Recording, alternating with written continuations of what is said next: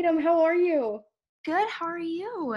Good. What a great way to start kick off the week Monday morning interview. Uh, it's great to speak with you. You've been up to a lot of amazing, amazing things recently, and honestly, just for like the past decade, you started um, really getting into music um, at a young age. So I always ask when people are kind of discovering that passion at a young age, do you feel like that's an advantage for you because you get to you know see kind of grow up with it or would you say it also has some cons because you kind of learn from a young age like the harsh realities that sometimes the music industry presents to people?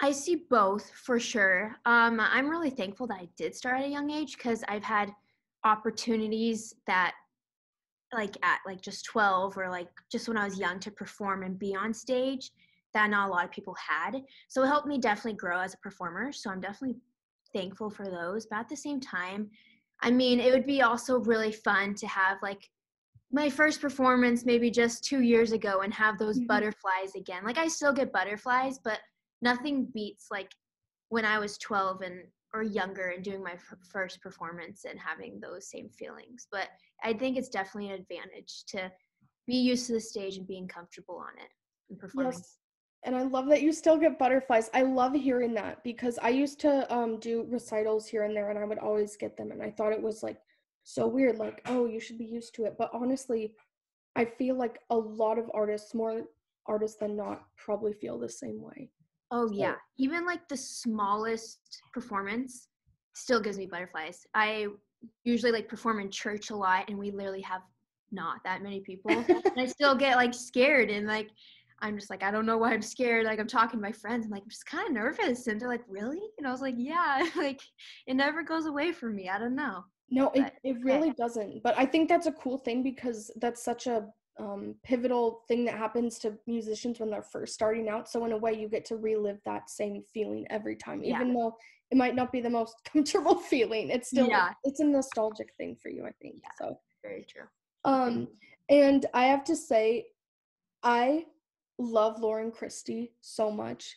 And you got to work with her. I saw that and I screamed because she worked with Avril Lavigne on her song It Was In Me and that's one of my favorite songs. So yeah.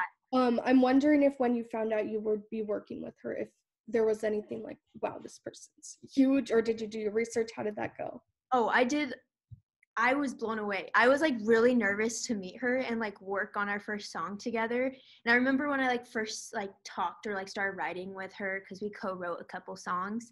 Um, I would just sit there and like I want to chip in, but at the same time, you're so amazing. I think like maybe I should like hold back, but like I don't know. But she's like just so amazing that like it was just incredible to be in a room with her and just like experience her talent mm-hmm. because it's like no other. I totally agree with you. I was like such a fangirl when I first met her. And now she's like one of like my really good friends. We text every once in a while. I send her funny things and she's just she's a sweetheart. She's so talented and has such a great heart too. So I love her. Oh, I I love hearing stories like that. What a great uh I and I love that you've been able to keep in touch with her beyond um just that's those writing sessions. Yeah. Um, and that brings me to my next point. I feel like a lot of times, um, there young artists like you. I feel like I see both sides. I see young artists who kind of want full creative control, and then young artists who want they want that control, but they also want an elaborate team behind them. And I feel like mm-hmm. you kind of fall somewhere in the middle. So I'm wondering how you navigate that space because I'm sure it does get difficult to be like, I really want to write this, but I have this opportunity with this amazing person. What do I do? Yeah. Honestly, just growing up, I always liked writing my own music. And um, I just felt really comfortable because I'm the person, even in like school projects, I'm like, let me do everything. like, you know, like, I'm like, can I just do the whole PowerPoint and just make sure I like it? Like, I was that person, I have to admit. I was. But, yeah, I feel like a lot of people are on that same page with me. With music, especially like writing songs with other people, especially with Lauren Christy, it definitely was pretty easy for me to open up and do that because I could tell from the first writing session that I was growing as a songwriter. It was not like keeping me back. Like mm. it definitely opened my mind to new things and she would talk me through things whenever I was stuck at a writing block or something like that. And it was first like I would have to say I was kind of worried. I was like I don't know how good I'll be writing with someone. But once like literally the first like sentence of the song, I was like, "Oh, this is to be easy. This is to be great." And I was just so comfortable and now I actually kind of prefer co-writing with people because it just talking about it with other people makes me branch out more into my ideas and it makes it easier for me to write.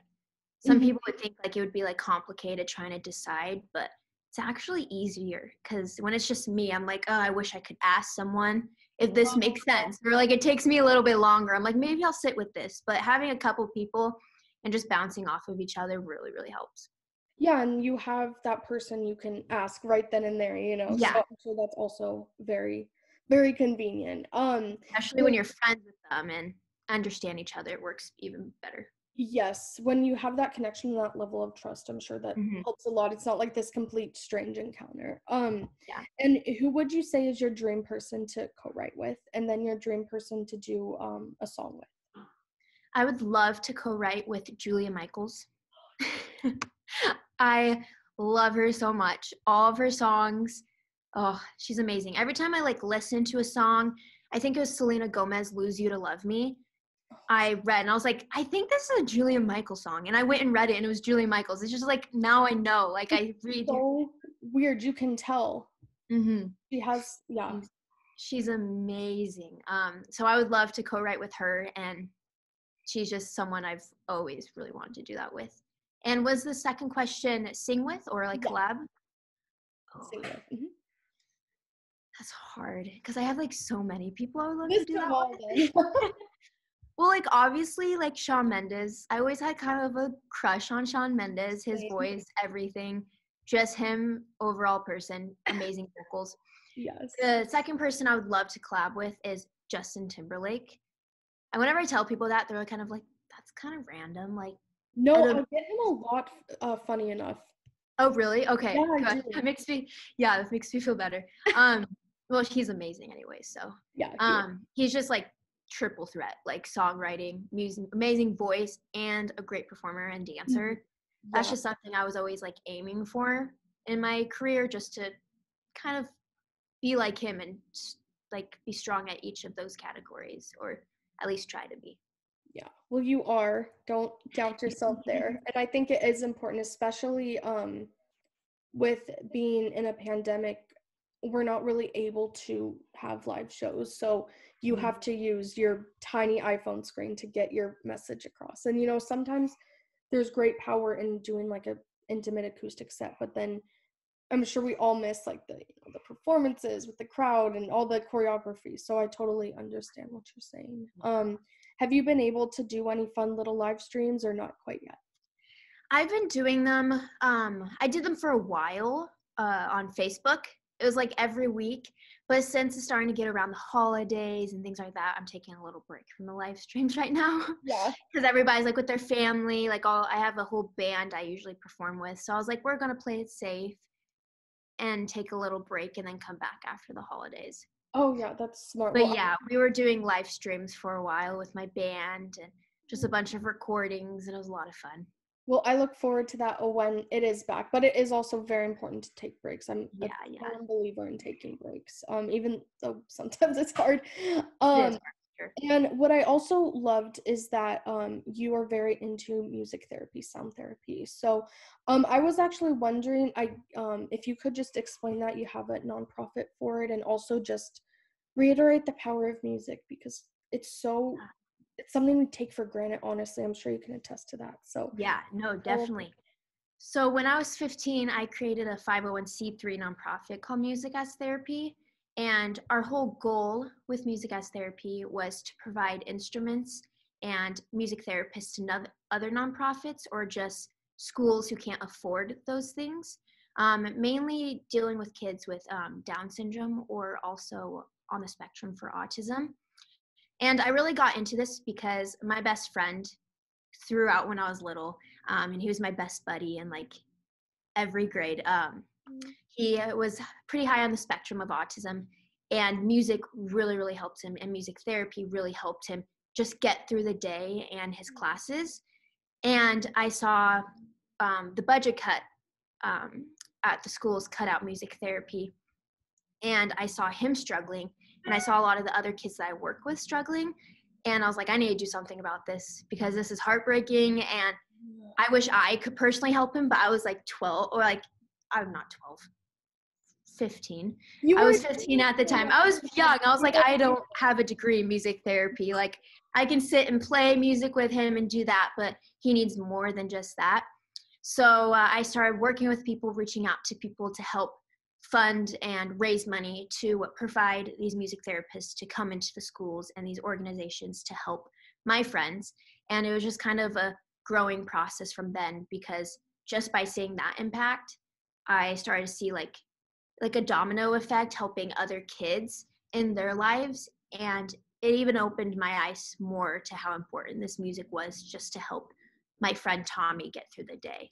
So yeah, it's such a source of comfort and I actually I went to a performing arts school and it was the budget cuts affected us greatly. Not only the kids who had special needs and that 45 minute class was such a great relief for them, but just anyone who used yeah. music as a source of learning. And I guess the sad thing is, if there was no evidence, it helped to be one thing, but there's so much research that shows how vital it is. So I'm so thankful for people like you who see that and you know can back up these claims that it it really is a helpful tool. It's not just some you know music kids who want to you know have more music at school like it's definitely not that it's so much more and just being able to provide people with great resources. So thank you for sharing that. Um, it, do you want to um, give the Instagram for that? I just want to make sure that people know where to find more info on that specifically. Oh yeah.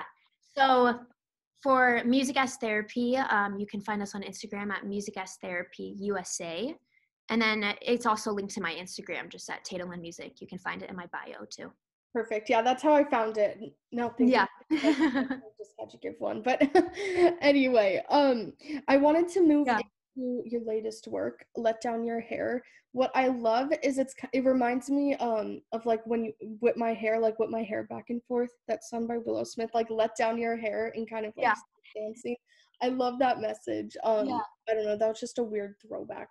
I'm a very nostalgic person, so I was just like trying to connect the dots. That's how my brain works. Um, but do you just want to give the meaning behind that specifically if it's cool, specifically how it pertains to uh, social media and our views of social media and all the things that can happen on social media that are not how social media should be used? Yeah. So I started writing, I wrote Let Down Your Hair. Like I started it before the pandemic actually happened. Mm-hmm. I started writing it with Lauren Christy and Joey Barba and um, it was actually um, it was like a couple weeks before the shutdown and everything like that. And um, it was the day we like put pencil to paper to start writing this song was the day after we found out kobe bryant died. And um, i remember i flew into la obviously this was before everything that's happened.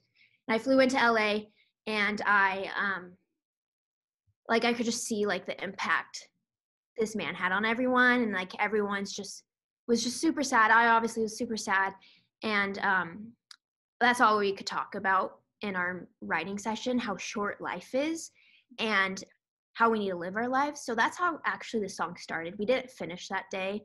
Um, we kind of just put a pause on it just to keep thinking more about it. So it started off as live your life, life is short, love every minute of it.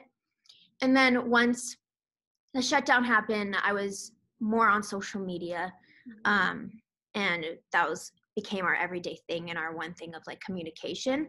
Yeah. I could see like the negativity on social media. There's a lot of positivity, but there's a lot of negativity, and it just really hurt me. And I could just see that like people were struggling, especially during a shutdown. Like you don't need that negativity in your life. And I personally had to remind myself to like push away what I'm seeing on social media, push away all the negativity in my life or anything like that, and to make sure to let down my hair and still be me because it was it's always hard to remember to be yourself in a world that wants you to be perfect. like they expect you to be perfect in a way. And social media also does. It's a highlight of everyone's lives, you know. Yeah. So it just shows your most perfect moment of your day. So I just wanted to remind people to make sure to let down their hair and to remember that it's okay not to be that perfect image that you are on social media mm-hmm. and just to live your life and know that it is short and you should love every minute of it and love who you are. Yes, and it's such a great message for every day, but especially now when a lot of people are just it's hard to be positive and that's not to say we have to be positive all the time. It's like important to grieve or make room for whatever emotions, but absolutely, it's also so important to remember to be grateful. So I totally, totally um, agree with you there. Um, and I wanted to move into next month. You have your album coming out, and it's 14 tracks, right? Yes. That's amazing. Um, normally it's like EPs, which are shorter, but this is your full length album. So, do you want to just kind of give any? I, am not going to say updates because we know when it's coming, yeah. but just anything um, regarding any storylines or any themes throughout the album that people would be interested in. My whole goal for this album was to have a song for everyone um, through like whatever mood you're going through. It's not definitely like each song is a happy song. Some of them are the emotional, like trying to connect with you more and like your sad feelings. And then there's Let Down Your Hair that's on the albums, like you're amazing, let down your hair, be yourself. Mm-hmm. So it's just my goal for this album was to have a song for everyone and every mood that you face every single day. So that's kind of the theme for the album. And yeah, so there's just a mix of all different moods and all, di- all different songs on it. So I'm excited for people to hear that and to experience it. Yes, I'm so excited to listen to it. And something I like to ask artists when their album is longer is do you recommend listening to the songs in any particular order or do you it can it kind of be a free for all? I think it can be a free for all. Cool. Yeah.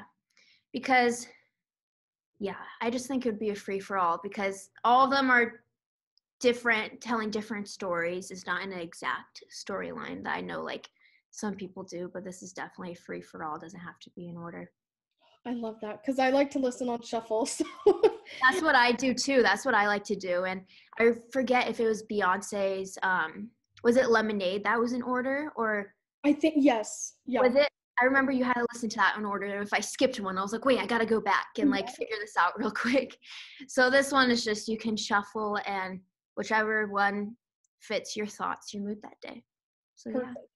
Um, and obviously, it's very difficult to film any type of music videos or uh, lyric videos or promos for the songs. But when the lockdown is over, do you plan on doing music videos for any of them? Yes. Um, I actually did. A, I don't know if you saw my music video for "Let Down Your Hair." Yes. Yeah, we did a um, little video for that, and we all like got covid tested and we were like very very safe for that and we filmed it in one day.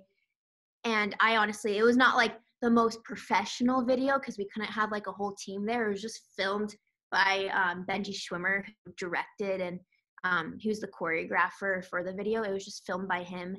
And um, i feel like i'll probably continue to do like small self film probably mm-hmm. videos like that at the highest quality that I can make it without getting a whole team during these times. But hopefully, after the lockdown, I can go out and film very professional videos for these because I would love that. Some of these songs I definitely would love to have that experience with these with them.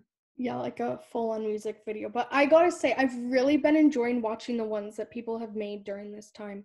And it I'm sure I mean I can't speak for you, but I have a feeling it kind of shows you like you can do this and you might have picked up some new skills on directing and all that because you're you're almost forced to you know yeah and it's definitely having me think about like the future when i'm able to record these big music videos and it's like okay i can't do this now but what should be my idea when i'm able to so it just gets me thinking and like turns that creative switch on even more i feel like than usual when you're kind of stuck in a way and yeah and uh, yeah.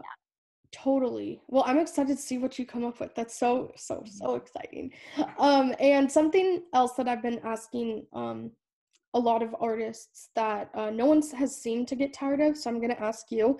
Um, Maybe you'll be my last one. We'll see how this goes. um, but I feel like when we're in a pandemic or in a lockdown, we have a tendency to um, feel this pressure to be productive 24 7. So I'm wondering, have you experienced that? And if so, have you experienced creative burnout and how are you navigating that whole idea? That's definitely something I've been struggling with. I feel like every time I wake up in the morning, I need to do something productive. Um, some days it's great and I'm very productive and I'm doing everything music and I feel like very good about it. And then other days, it's like every other person, you have days that you struggle maybe a little bit. So I definitely do have a burnout and some days I'm just not as creative as others. And I've come to accept that. And it's definitely kind of hard to accept since that's like the thing going on in your life. Mm-hmm. But that's still something I'm trying to get better at and be more productive with. But it's yeah. It's so hard. Like I feel for you. One of my favorite quotes that I learned in um, college was downtime is productive time.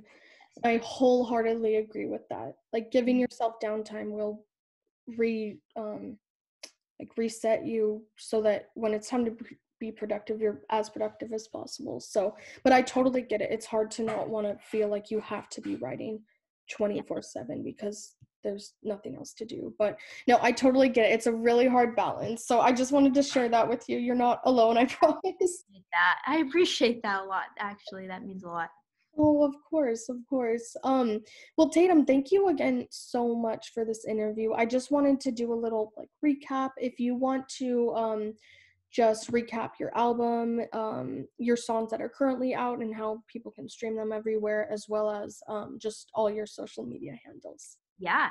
So I will be releasing my album this next month in January.